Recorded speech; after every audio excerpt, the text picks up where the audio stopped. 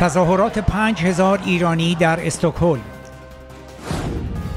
خانم مریم رجوی اتحادیه اروپا باید بیت خامنه ای و سپاه پاسداران و وزارت اطلاعات و مراکز اصلی سرکوب و تروریسم را لیستگذاری تروریستی و مورد تحریم همه جانبه قرار دهد. فرانسه و آلمان توقیف نفتکش انگلستان توسط رژیم ایران را به شدت محکوم کردند.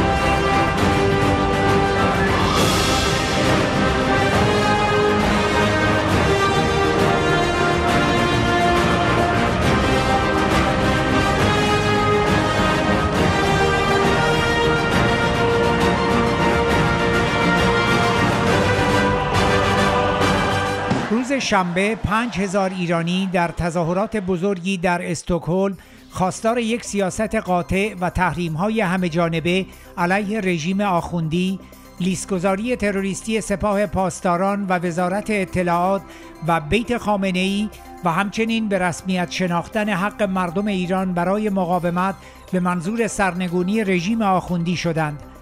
آنها پشتیبانی همه جانبه خود را از سازمان مجاهدین و کانونهای شورشی اعلام کردند و از خانم مریم رجوی و پلتفرم ده ماده‌ای او برای ایران آینده حمایت کردند.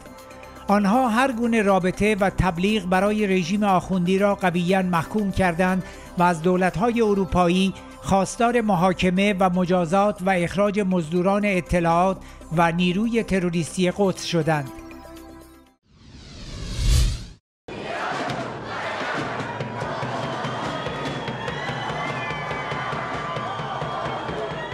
خانم مریم رجوی تظاهر کنندگان را صدای خروشان کانونهای شورشی و ارتش آزادی بخش ملی در سراسر جهان توصیف کرد که برای رهایی مردم ایران از اختناق و فقر و بیعدالتی قیام کردند.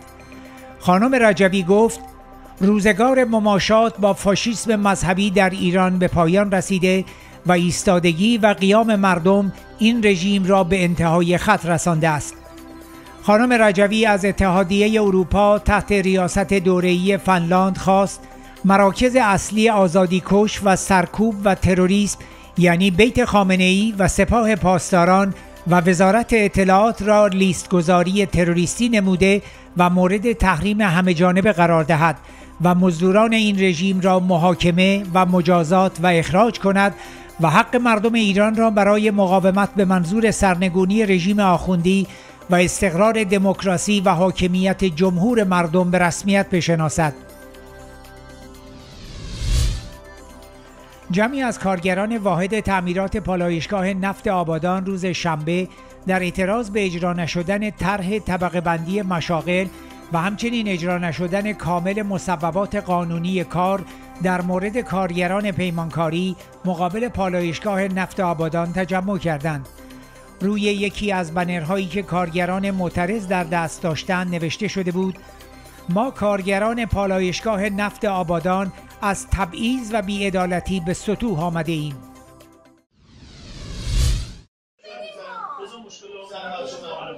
که هیچ برات نوشیم دولت دیگه تمومه. ساکنان خشمگین فاز دو شهرک مخابرات شهریار واقع در استان تهران در اعتراض به قطعی های طولانی مدت و مستمر آب در اداره آبفا تجمع کردند.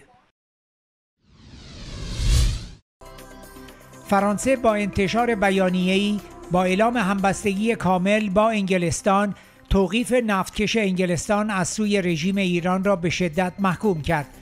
به گزارش خبرگزاری رویترز وزارت خارجه فرانسه با انتشار بیانیه‌ای با ابراز نگرانی از توقیف نفتکش انگلیسی توسط نیروهای رژیم ایران اعلام کرد چنین اقداماتی به تلاشها برای کاهش تنشها در منطقه آسیب میرساند.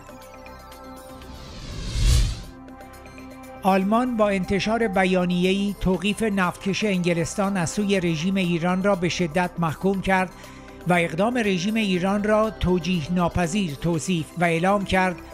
این اقدامات باعث خطرناکتر شدن شرایط در وضعیت پرتنش کنونی می شود. سخنگوی دولت آلمان نیز خواستار رفع توقیف فوری این نفتکش شد.